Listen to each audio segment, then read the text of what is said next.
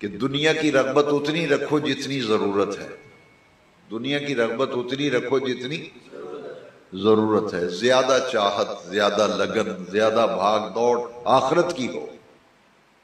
क्योंकि ये दुनिया की ज़िंदगी तो आरजी है, चंद रोजा है, वो दायमी और अबदी है। लिहाजा दुनिया से इतना सा ताल्लुक रखो जितनी ज़रूरत है। बस बाकी सारी कुत और सारी तोानाइयाँ वो आखरत बनाने और कमाने में सरफ कर दे। आखरत कमाने और बनाने में सरफ कर दे। उसके लिए सबसे अफजल तरीन सूरज है वो पाँच वक्त की नमाज़। इसके बाद कुरान मजीद की तिलावत। मैं भी अपनी ज़िंदगी पर नज़र दौड़ाऊं, आप भी देखें, हम मिलकर गौर करते हैं कि इस मामले में हमारे यहाँ कहाँ कहाँ कमज़ोरी है कहाँ कहाँ खामी है क्या हमारे अंदर नमाज़ की वो रगबत है, नमाज़ की वो मोहब्बत है? जो बैत के बाद रगबत और मोहब्बत होनी चाहिए वो पैदा हुई या नहीं पैदा हुई? और नमाज़ के बाद जो अमल है, वो है तिलावत कुरान। ये भी अल्लाह का ज़िक्र है। अकिम सलात जिक्री, इस आयत से पता चला कि ज़िक्र इलाही की सबसे अफजल सूरत नमाज़ है। और दूसरी आयत सुनिए जरा। कुरान मजीद की आयत में कुरान को ज़िक्र कहा गया, इन्ना नहनु नजल न ज़िक्र व इन्ना लहू लहाफिजून। हमने इस ज़िक्र को, यानी कुरान मजीद को नाजिल किया, हम ही इसकी हिफाजत करेंगे।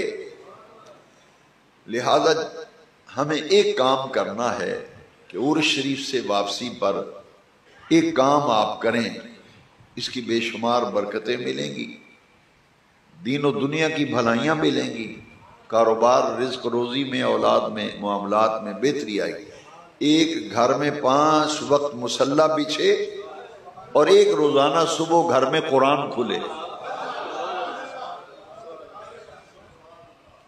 जैसे ही मस्जिद में अजान की आवाज़ हो, बेटियाँ, बहनें, माएँ घरों में मुसल्ले बिछा ले। घर का नक्शा बदल जाए। पाँच वक्त घर में मुसल्ला बिछे रोज़ाना घर में अल्लाह का कुरान खुले। हजू ने फरमाया, जिस घर में कुरान की तिलावत नहीं, वो तो कब्रस्तान है।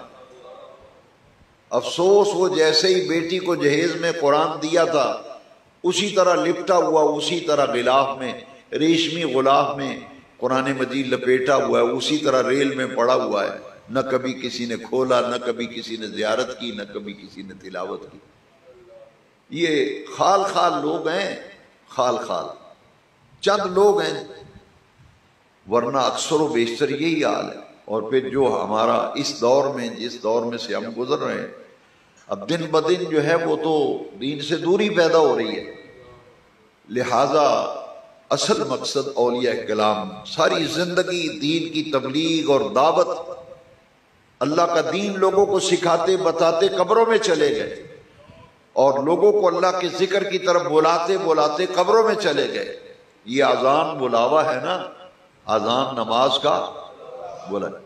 मुजन जब आजान देता है तो ये नमाज़ का बुलावा है। दीन का मुबलिक दीन का दाई। वो लोगों को दावत देता है कि आओ आओ, अल्लाह के ज़िक्र की तरफ़ आओ, अल्लाह की याद की तरफ़ आओ।